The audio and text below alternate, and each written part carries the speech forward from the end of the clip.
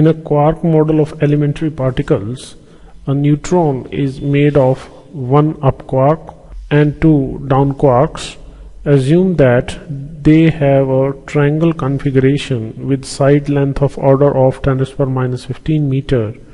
Calculate electrostatic potential energy of neutron and compare it with and compare it with its mass 939 million electron volt. तो actual में ये 939 जो है, ये मास नहीं है, ये एक्चुअल में एनर्जी है और ये न्यूट्रॉन मास को एनर्जी की फॉर्मेट में लिखा हुआ है। और बी पार्ट में कह रहा है कि repeat above exercise for proton which is made of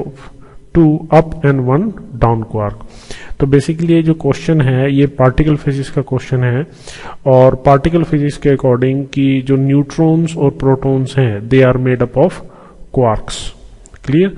तो एक न्यूट्रॉन की जो बात कर रहा है यहाँ पे, ये कह रहा है कि न्यूट्रॉन के अंदर तीन क्वार्क्स हैं और तीनों क्वार्क्स जो हैं, वो एक ट्रायंगुलर कॉन्फ़िगरेशन में रखे हुए हैं, पड़े हैं। तो इनके बीच का जो सेपरेशन है, वो कह रहा है कि वो टेन पर माइनस फिफ्टीन ऑर्डर का है। ये दिया टेन पर माइनस फिफ्टीन और यहाँ पे क्या है कि हमारे पास एक अप क्वार्क है। अप क्वार्क का जो चार्ज है वो two by three times e है और जो डाउन क्वार्क है वो चार्ज है minus one by three e and minus one by three e तो अगर आप इनका टोटल सम करेंगे so it will result in zero जो कि न्यूटन पे चार्ज होता है ज़ीरो नो चार्ज तो कह रहा है कि इस सिचुएशन में हमें क्या करना है? इलेक्ट्रोस्टैटिक पोटेंशियल एनर्जी निकालनी है। क्लियर तो इलेक्ट्रोस्टैटिक पोटेंशियल एनर्जी का फॉर्मूला हमें नोन है। U that is equal to 1 by 4 pi epsilon naught, r, that is the separation between any two charges, into product of the charges तो यहाँ पे हमारे पास पेयर्स आएँगे। अब ये देखिए, ये जो क्वार्क है दैट इज़ अप क्वार्क ये है डाउन क्वार्क ये भी डाउन क्वार्क तो हम यहाँ से लिख सकते हैं अप क्वार्क और डाउन क्वार्क का प्रोडक्ट चार्जेस का product up quark down quark तो इस अप क्वार्क और इस डाउन क्वार्क की पोटेंशियल एनर्जी इस अप क्वार्क और इस डाउन क्वार्क की potential energy so up quark down quark का चार्ज और ये दो बार अपियर होगा और एक पेयर जो बनेगा, वो ये बनेगा, दो डाउन क्वार्क के चार्जेस के corresponding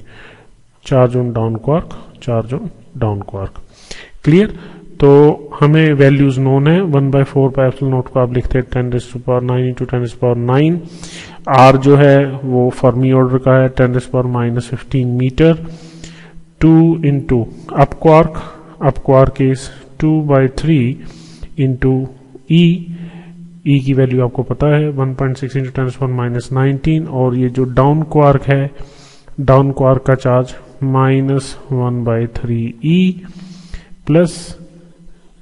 down quark, that is minus 1 by 3 e into minus 1 by 3 e. Clear तो अब हम यहाँ पे e की वैल्यू सब्सटीट्यूट करेंगे तो फाइनली हमारे पास आंसर आएगा minus zero point four eight million electron volt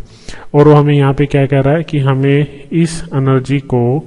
इसे कंपेयर करना है 939 मिलियन इलेक्ट्रॉन वोल्ट से। तो अगर हम इसको कंपेयर करते हैं तो हम क्या करेंगे? We have to find the ratio so this is 939 so this is 5.11 into ten power minus four clear तो अगर हम इसकी फ़िज़िकल सिग्निफिकेंस के बारे में बात करें तो आप ये देख सकते हैं कि जो ये एनर्जी है 939 मिलियन इलेक्ट्रॉन वोल्ट ये क्या है? ये मास डिफेक्ट ऑफ़ न्यूट्रॉन है। मतलब जो हमारे पास मास एनर्जी रिलेशनशिप है E is equal to m c square तो अगर हम यहाँ पे मास ऑफ़ न्यूट्रॉन लें और c square that is the speed of light से मल्टीप्लाई कर दें और उसकी एनर्जी बनाएँ तो हमारे पास 939 मिलियन इलेक्ट्रॉन वोल्ट एनर्जी आएगी। सेम यही सिचुएशन हमसे वो प्रोटोन के बारे में भी पूछ रहा है कि इसी एक्सरसाइज को आप प्रोटोन के लिए रिपीट करें। तो प्रोटोन के केस में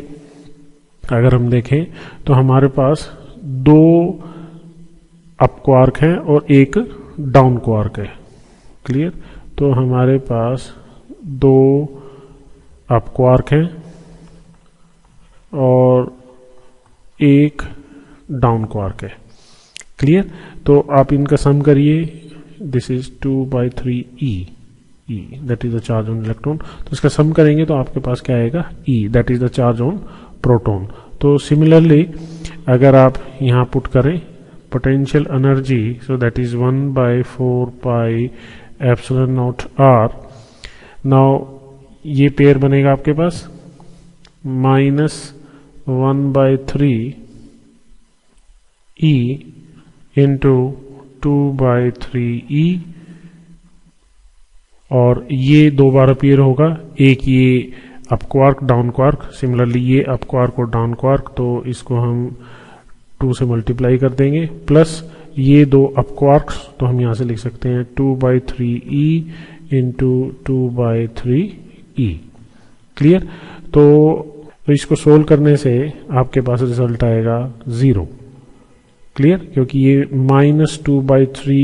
e two by three e so that is four by nine e square और यहाँ पे भी four by nine e square तो ये पॉजिटिव है और ये नेगेटिव है तो आंसर आएगा हमारे पास zero so the potential energy in case of proton will yield us zero तो बेसिकली ये एक हाइपोथेटिकल क्वेश्चन है, क्योंकि जो क्वार्क्स हैं उनकी प्रॉपर्टीज़ अलग अलग हैं और यहाँ पे सिर्फ़ वो दो क्वार्क्स की बात कर रहा है, जबकि क्वार्क्स छह तरह के होते हैं, ठीक है? तो इसने जो यहाँ पे कंडीशन गिवन है, हमने उसी के अकॉर्डिंग इसकी कैलकुलेशन की है और इसकी पोटेंशियल एनर्जी की जो फ़िज़िकल सिग्निफिकेंस है that is little bit beyond the scope of our present study clear तो जो इसने हाइपोथेटिकल सिचुएशन पोज की है, उसके अकॉर्डिंग हमने जो आंसर निकाला है, वो ये दोनों है।